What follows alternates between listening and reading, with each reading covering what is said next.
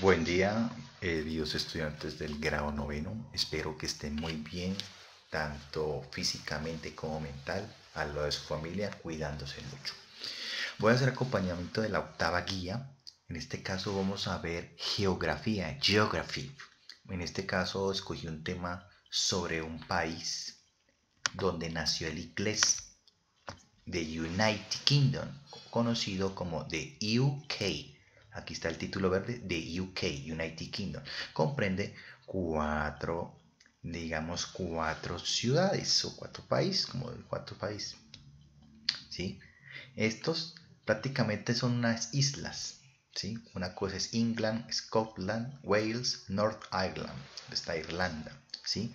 En Irlanda donde se colocan los chicos o las personas pueden usar faldas de cuadros y tocan la gaita. Hay una lectura frente a este, a este tema sobre geografía. Entonces aprendemos aquí, en este caso, eh, cómo está conformado de UK, United Kingdom, el Reino Unido llamado también, o también le dicen Inglaterra, está conformado. El Reino Unido es todo, todo estas islas, digámoslo así. Y dentro del Reino Unido está Inglaterra, en este caso England. Al lado de England está, bueno, encima de England está Escocia, Scotland, donde se me ha hablado de que los chicos, las personas han visto personas con falda, cuadros. Allá juegan el rugby, ¿sí?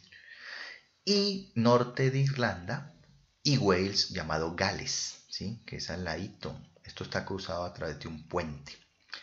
Bueno, muchachos, eh, se pueden observar, pues, eh, el origen del fútbol, aunque no lo crean, el, origen del fútbol, el soccer, soccer, es en Inglaterra, no fue en África, ni fue en Colombia, ni en Tumaco. Eh, fue en Inglaterra, es una potencia mundial. ¿Qué más puedo decir? Es la cuna del inglés de parte del Reino Unido fue a invadir a Estados Unidos, llegaron algunos así como Colón a Estados Unidos y de ahí se desprendió otras versiones del inglés. Por eso hay una diferencia entre inglés americano e inglés británico.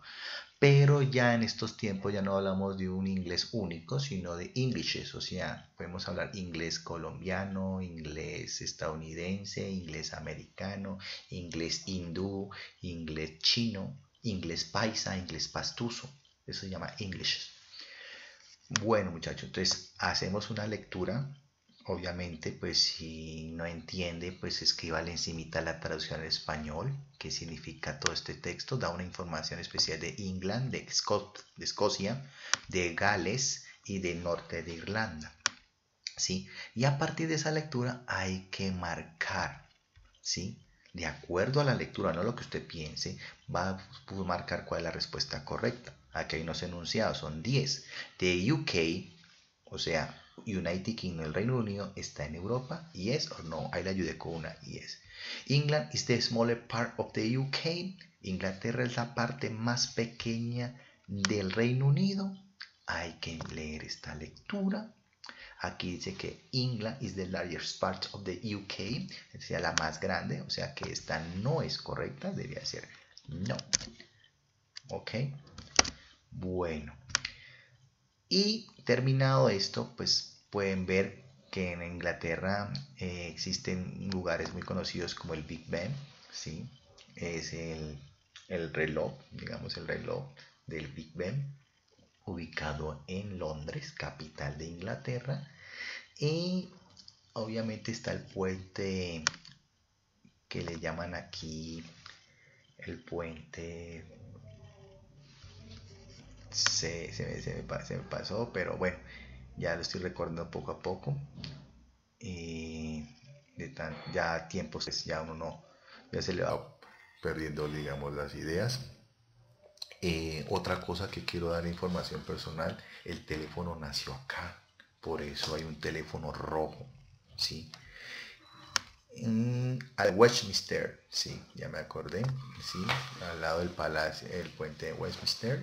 Eh, y muchachos, eh, ustedes pueden viajar, solamente se los invita a conocer. bueno, de acuerdo, aquí hay unas fotos mías, cuando estuve allá. Eso fue una bendición de Dios, viajar, conocer. Eh, y usted desea traducir esta lectura, la puede hacer abajo. ¿sí?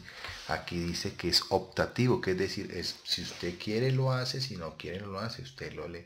Pero esto le aumenta una valoración, un punto extra al desarrollo de esta guía.